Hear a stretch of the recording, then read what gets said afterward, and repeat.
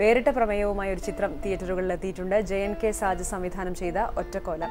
ഈ സിനിമയിൽ വളരെ കരുത്തുറ്റ വേഷം ചെയ്തുകൊണ്ട് യുവനടി ഹിമ ശങ്കർ പ്രേക്ഷകർക്ക് മുന്നിൽ എത്തുന്നു. ഹിമയാണ് ഇന്ന് വാർത്താപ്രഭാതത്തിലെ മറ്റൊരു അതിഥി. ഹിമയെ സ്വാഗതം ചെയ്യുന്നു ഹിമ.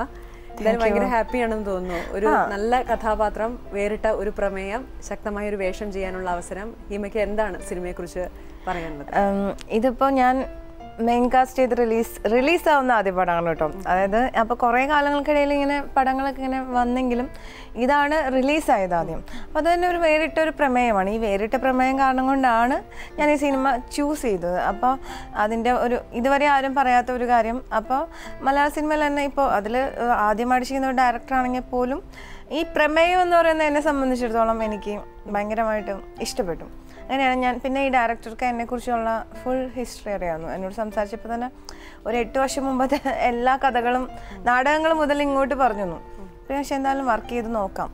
അപ്പോൾ ഒരു സിനിമ എന്ന നിലയിൽ അതൊരു കംപ്ലീറ്റ് ആയിട്ടുള്ള ഒരു ഒരു സിനിമയാണോ എന്നുള്ളതൊന്നും അല്ല എന്റെ എന്റെ വിഷയം. എന്റെ വിഷയം ആ ക്യാരക്ടർ എത്രത്തോളം എനിക്ക് ചെയ്യാൻ പറ്റിയെന്നുള്ളതാണ് ആസ് എൻ ആർട്ടിസ്റ്റ് നമ്മൾ അത്രയും നോക്കേണ്ട ആവശ്യം അപ്പോൾ ആ ഒരു ക്യാരക്ടർ കുറച്ച് മെച്ചുവേർഡാണ് ഞാൻ ഇതുവരെ സിനിമയിൽ ചെയ്തല്ല ഏറ്റവും ആയിട്ടുള്ള ഒരു കഥാപാത്രമാണ്.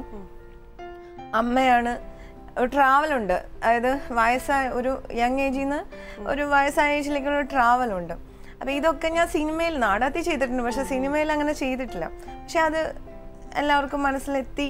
അല്ലെങ്കിൽ കണ്ടവരെല്ലാം എന്നെ വിളിച്ചു പറഞ്ഞു ഈ സിനിമയിൽ ഈ ക്യാരക്ടർ ഭയങ്കര നന്നായിട്ടുണ്ടെന്നൊക്കെ പറയുമ്പോൾ നമുക്ക് സന്തോഷമുണ്ട്. കാരണം ആ സിനിമയുടെ നാടകത്തിന്റെ ഡിഫറൻസിന് രണ്ടിനെയും കൂടി ഒരു പ്രശ്നമില്ലാതെ കൊണ്ടുവന്നല്ലോ. അതെന്നെ സംബന്ധിച്ചിടത്തോളം ഒരു ചലഞ്ച് ചെറിയ റോൾ ചെയ്യുന്ന പോലെയല്ല. ഒരു ഫുൾ നീള കഥാപാത്രം ചെയ്യുമ്പോൾ ഒരു ചലഞ്ചുണ്ട് നമ്മൾ ചെയ്തു വന്നതും നമ്മൾ പഠിച്ചതായിട്ടുള്ള എല്ലാ കാര്യങ്ങളും കറക്റ്റായിട്ട് പോകുന്നുണ്ടോ എന്നുള്ളൊരു ചലഞ്ചുണ്ട് അത് ചെയ്യാൻ പറ്റിയെന്നാണ് തോന്നുന്നത്. ഹിമ പറഞ്ഞല്ലോ ഇതുവരെ ചെയ്തതിൽ ഏറ്റവും വ്യത്യസ്തമായ ഒരു കഥാപാത്രം കരുത്തുറ്റൊരു കഥാപാത്രം. ഇതിനുവേണ്ടി എന്തെങ്കിലും ഒരു പ്രിപ്പറേഷൻ അങ്ങനെ എന്തെങ്കിലും നടത്തി അതിന് മുൻപ് ഈ പ്രമേയം ശ്മശാനം സൂക്ഷിപ്പുകാരിയാണ് അതിനെ കുറിച്ചുകൂടി എന്തായാലും വളരെ കൗതുകം. അതായത് ഇതിന് ഞാൻ തയ്യാറെടുപ്പ് നടത്തുന്നു പക്ഷെ ഞാൻ എല്ലാ തയ്യാറെടുക്കുകളെ തയ്യാറെടുക്കലുകളെയും ആ സമയത്ത് എഡിറ്റ് ചെയ്യാൻ ഡിലീറ്റ് ചെയ്ത് കളയും. കാരണം നമ്മൾ എത്ര തയ്യാറെടുത്താലും നമ്മുടെ തോട്ട് ആ സമയത്ത് ഫ്രീ ആയിരിക്കണം. അല്ലെങ്കിൽ നമുക്ക് ചിലപ്പോൾ ആ സമയം ആ കറക്റ്റ് ആ ടൈമിൽ റെസ്പോണ്ട് ചെയ്യാൻ പറ്റില്ല. ഞാൻ മനസ്സിലാക്കിയുള്ള ഒരു കാര്യം. ഞാൻ വലിയ നടിയായിട്ട് അറിയപ്പെടുകയൊന്നും ചെയ്യില്ല പക്ഷേ എന്റെ കുറേ അന്വേഷണങ്ങളിൽ നിന്ന് ഞാൻ മനസ്സിലാക്കിയ കാര്യം നമ്മൾ എന്തൊരു ക്യാരക്ടറിനെ കുറിച്ച് എന്ത് പറഞ്ഞാലും എത്ര പഠിച്ചാലും ആ റൈറ്റ് മൊമെന്റിൽ അത് മറക്കണം. മറന്നില്ലെങ്കിൽ നമ്മൾ ആ ക്യാരക്ടറിൽ നിന്ന് വിട്ട് നമ്മൾ ചിന്ത കൊണ്ട് അഭിനയിക്കുന്ന പോലെ ആയിപ്പോൾ അങ്ങനെയാണ് ഞാൻ ചെയ്യാറ്. എന്റെ പ്രോസസ്സ് അങ്ങനെയാണ്. അപ്പം ആ ക്യാരക്ടർ എന്ന് പറയുന്നത് അമ്മയാണ്. അമ്മയാണെന്നുള്ളത് ഞാൻ മനസ്സിൽ വിശ്വസിച്ച് കഴിഞ്ഞാൽ പിന്നെ ഞാൻ എന്റെ ഐഡന്റിറ്റിനെ ഒന്ന് മാറ്റി വയ്ക്കും അപ്പം ആ സമയത്ത് അത് അങ്ങനെ തന്നെ വരും. കാരണം ഞാൻ ഓൾറെഡി പഠിച്ചു കഴിഞ്ഞു ക്യാരക്ടറിന് അത്രേ ഉണ്ടായിട്ടുള്ളൂ. പിന്നെ എന്റെ അമ്മേനെ അല്ലെങ്കിൽ എനിക്ക് ആ പരിചയമുള്ള അമ്മമാരെയൊക്കെ ഞാൻ ഒന്ന് മനസ്സിലൂടെ ഒന്ന് ഓടിച്ചിട്ടുണ്ടായിരുന്നു. എങ്ങനെയാണ് അവരുടെ ക്യാരക്ടർ എന്നുള്ളത്. പിന്നെ പിന്നെന്താ ചോദിച്ചാൽ ഈ ഈ സിനിമയുടെ ഒരു സാഹചര്യം തന്നെ വളരെ പുതുമയുള്ളതാണ്. സ്ത്രീ. ശ്മശാനം സൂക്ഷിപ്പുകാരിയാണ് ഇതൊരു കഥ ഞാൻ പണ്ട് വായിച്ചിട്ടുണ്ട്. കഥയാണോ ഒരു നടന്ന സംഭവം എന്നാണ് ഒരു പേപ്പറിൽ ഞാൻ വായിച്ചു ഇപ്പം എന്റെ തലയിൽ അങ്ങനെ കയറിയിട്ടുണ്ട് പിന്നെ ശ്മശാനങ്ങളോടുള്ള എന്റെ ഇഷ്ടം എന്ന് പറഞ്ഞാൽ ഞാൻ ഈ കാശി എന്ന് പറഞ്ഞ സ്ഥലത്ത് പോയിട്ടുണ്ട്. കാശി.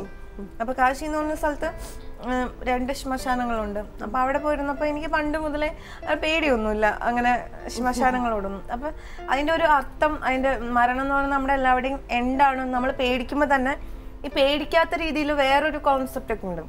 അത് ഞാൻ ഇപ്പൊ ഈ പ്രോഗ്രാമിൽ കൂടുതൽ ഫിലോസഫിക്കൽ ആവില്ല കടോപനിഷത്തൊക്കെ പറയുന്ന സബ്ജക്റ്റ് ഉണ്ട്.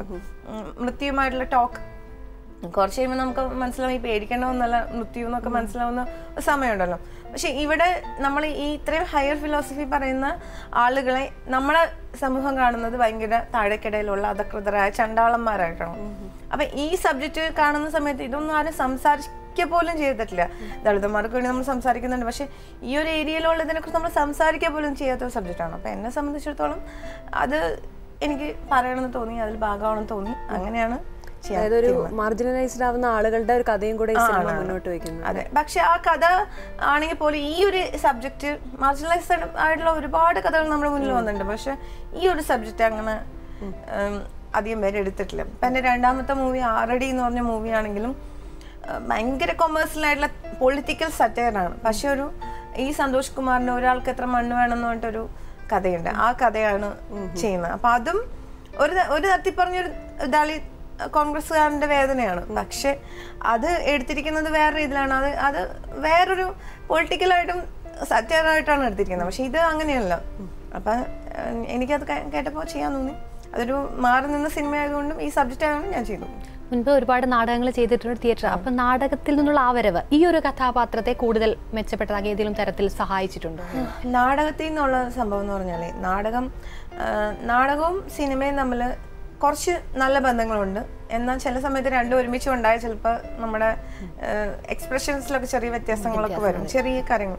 അതാണ് ഒരു ചലഞ്ച് ആ ചലഞ്ച് തന്നെയാണ്. അപ്പം ഈ നാടകീയത ഒഴിവാക്കി വളരെ നാച്ചുറാലിറ്റി കൊണ്ടുവരിക എന്ന് പറയുമ്പോഴും നാടക ഇപ്പോഴും നാടകത്തിൽ ഞാൻ ഉപയോഗിക്കുന്ന ടൂൾ എന്ന് പറഞ്ഞാൽ കുറച്ച് നാച്ചുറൽ ആയിട്ടുള്ള തന്നെയാണ് നാച്ചുറൽ ഇമ്പൾസസി എന്ന് പറയുന്ന ആക്ടിങ് ആണ് ഞാൻ ഉപയോഗിക്കാറ്. പക്ഷെ എങ്കിലും ഇതിലൊരു മീനിങ് കുറയ്ക്കേണ്ടിയിരിക്കുന്നു. അങ്ങനെ നാടകത്തിൽ എക്സ്പീരിയൻസ് ക്യാരക്ടേഴ്സ് ക്യാരക്ടറിന്റെ ഒരു ലോങ് ടേം റണ്ണില്ലേ ഈ തുടക്കം മുതൽ അവസാനം വരെയുള്ള കാര്യങ്ങളിൽ നമുക്കൊരു എക്സ്പീരിയൻസ് ഫീൽ ചെയ്യുന്നുണ്ട്. കാരണം ആ അതുകൊണ്ടാണ് കണ്ടിന്യൂ ആയിട്ട് നമുക്ക് ആ വ്യത്യാസം വരാതെ കൊണ്ടുപോകാൻ പറ്റുന്നത്. മൈൻഡ് സെറ്റിലും ഒരു വളർച്ചയൊക്കെ ഉണ്ടാക്കാൻ പറ്റുന്നത് അത് അതുകൊണ്ടാണ്. അപ്പം അത് നാടകം ടീന്ന് വന്നുകൊണ്ട് അങ്ങനെ അതായത് ഈ ഒരു ട്രാവൽ കറക്റ്റായിട്ട് പിടിക്കാൻ പറ്റി. അതാണ് എനിക്ക് തോന്നിയിട്ടുള്ളത്. നാടകത്തോട് എന്തായാലും വ്യക്തിപരമായി കൂടുതൽ ഇഷ്ടം കാണും. പക്ഷേ എങ്കിലും നാടകം സിനിമ ഈ ഒരു തെരഞ്ഞെടുപ്പിൽ എപ്പോഴെങ്കിലും ഒരു കൺഫ്യൂഷൻ തോന്നാറുണ്ടോ? നാടകം എന്തായാലും തെരഞ്ഞെടുക്കുക എന്ന് പറഞ്ഞാലേ സിനിമയാണ് ഞാനിപ്പോ തെരഞ്ഞെടുക്കുന്നത്. നാടകം എന്റെ അടുത്തുനിന്ന് പോകത്തില്ല. കാരണം ആ തെരഞ്ഞെടുക്കേണ്ട ആവശ്യമില്ല. കാരണം അത് ഓൾറെഡി ഞാനിപ്പോ എവിടെ നിന്നാലും എനിക്ക് ചെയ്യാൻ പറ്റുന്ന ഒരു കാര്യമാണ് നാടകം. ഞാൻ വെറുതെ ഇരിക്കുന്ന സമയത്താണെങ്കിൽ എനിക്ക് ചെയ്യാം. കാരണം എനിക്ക് സോളോ പെർഫോമൻസ് എങ്കിലും അറ്റ്ലീസ്റ്റ് ചെയ്യും. സിനിമ എന്ന് പറയുന്നത് ഞാനിപ്പോ തെരഞ്ഞെടുക്കുന്ന ഇത് കൊമേഴ്സ്യൽ ഫിലിം ഇൻഡസ്ട്രി തന്നെയാണ്. ഒരു ഡൗട്ടും ഇല്ല. അപ്പൊ അതിന് ഒരു ഒരു നാടകക്കാരിയായിട്ടും സിനിമക്കാരിയായിട്ടുള്ള എക്സ്പീരിയൻസ് ഞാൻ ചിലപ്പോൾ ഇറങ്ങാത്ത പടങ്ങൾ ചെയ്ത എക്സ്പീരിയൻസ് വരെ എന്നെ ഭയങ്കരമായിട്ട് ഹെൽപ്പ് ചെയ്യുന്നുണ്ട്. അതായത് ഇപ്പോൾ മുൻപ് ഒരു തുടക്കാരിയുടെ പ്രശ്നങ്ങളില്ല ക്യാരക്ടേഴ്സിനെ ഭയങ്കര ബോൾഡായിട്ട് അപ്രോച്ച് ചെയ്യാൻ പറ്റുന്നത് ഇനി കോമഡി ചെയ്യുന്ന കഥാപാത്രങ്ങൾ വരുന്നുണ്ട് സീരിയസ് ആവുന്നതും വരുന്നുണ്ട്. അപ്പോൾ ഇത് ഈ എക്സ്പീരിയൻസുകളൊക്കെ ഒരു മുൻ മുൻപോട്ടുള്ള അടുത്ത അടുത്ത വഴിക്ക് അടുത്ത ടേണിംഗ് പോയിന്റിൽ ഭയങ്കര ഉപകാരമാണ്. അതുകൊണ്ട് രണ്ടിനെയും ഒരു ട്രാവൽ ഇഷ്ടമാണ്. അതാണ്. എവിടെയായിരുന്നു വെറ്റകോലം സിനിമയുടെ ഒരു ലൊക്കേഷൻ ചിത്രാഞ്ജലി പിന്നെ ആ ഇവിടെയൊക്കെ തന്നെ. ചിത്രാഞ്ജലി ഒരു ഒരു ആ ശ്മശാനമാണ് ഇമ്പോർട്ടന്റ് ആയ സെറ്റ് ചിത്രാഞ്ജലിയിലായിട്ട് എനിക്ക് തോന്നുന്നു ഇപ്പം ഹിമ സൂചിപ്പിച്ചതുപോലെ തന്നെ തുടക്കത്തിൽ പറഞ്ഞതുപോലെ ഒരു സംവിധായകനുള്ള ഒരു കോൺഫിഡൻസ് മുഴുവൻ ആ ക്യാരക്ടർ അങ്ങനെ ഏൽപ്പിക്കായിരുന്നു ആ. ഹിമയിലല്ലേ? അതെ. അതായത് ആൾക്ക് എന്നെ ചെറു എന്താ ഞാൻ ചെറിയ കുട്ടിയായിരിക്കുമ്പോൾ അവിടെ നാടകം ചെയ്യാൻ വരുന്ന സമയം മുതൽ എന്നെ അറിയാം. അപ്പോൾ എന്നെ നാടകങ്ങൾ കണ്ടിട്ടുണ്ട്. എന്റെ എന്നെ കുറിച്ച് ഇത്രയധികം പഠിച്ചിട്ടുള്ള ഒരു വ്യക്തിയില്ല. അപ്പോൾ ആ ക്യാരക്ടർ ചെയ്യണമെങ്കിൽ അങ്ങനത്തെ ഒരു നടിക്കേ ചെയ്യാൻ പറ്റും. അല്ലെങ്കിൽ അത് ഭയങ്കര ഡൗൺ ആവും. അങ്ങനത്തെ അപ്പൊ എന്നെ അത്രയും സീരിയസ് ആയിട്ടുള്ള റോൾ ഏൽപ്പിച്ചതിലും അതിലെനിക്ക് സന്തോഷമുണ്ട്. കാരണം വേറെ എന്തൊക്കെ ഇതാക്കിയാലും ആ ആ കഥാപാത്രം ഇമ്പോർട്ടന്റ് ആണ്. അതിൽ അത് ഇഷ്ടംപോലെ സീനിയർ നടിമാരുണ്ട്. പക്ഷെ അത് എന്നെ തന്നെ ഞാൻ ഏൽപ്പിക്കാന്ന് പറഞ്ഞാൽ അതിനൊരു ധൈര്യം വേണം. അപ്പം അത് ആൾ പറയുന്നുണ്ട് അത് സക്സസ്ഫുള്ളാണ് എന്താണ് ഇപ്പം ഫ്രണ്ട്സൊക്കെ പറയുമ്പോൾ ഹിമാശങ്കർ എന്ന് പറഞ്ഞ നടിയോടെയൊക്കെ ഉണ്ടായിരുന്നല്ലോ. എന്താ മറ്റുള്ളവരാരും കണ്ടില്ല എന്നൊക്കെയാണ് എന്നോട് ചോദിക്കുന്നത് അപ്പൊ ആ ഒരു രീതിയിൽ ആൾക്ക് അത്രയും ട്രസ്റ്റ് ഉണ്ട്.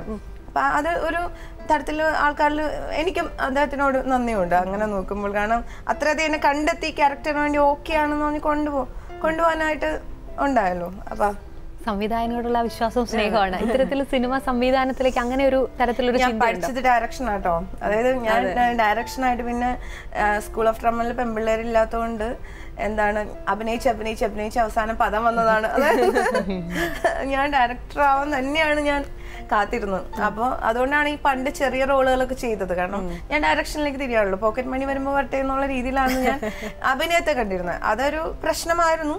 പിന്നെ ഞാൻ ഈ ഡയറക്ടറുടെ പോയിന്റ് ഓഫ് വ്യൂന്ന് നടിയുടെ പോയിന്റ് ഓഫ് വ്യൂ എത്താൻ ഒരു സ്ലോ ട്രാവലിംഗ് അതായത് നമ്മൾ കാര്യങ്ങളെ സമഗ്രമായി കാണുകയും ഒരു ഫോക്കസിലൂടെ കാണുകയും ചെയ്യുന്ന രണ്ടും രണ്ടാണ്.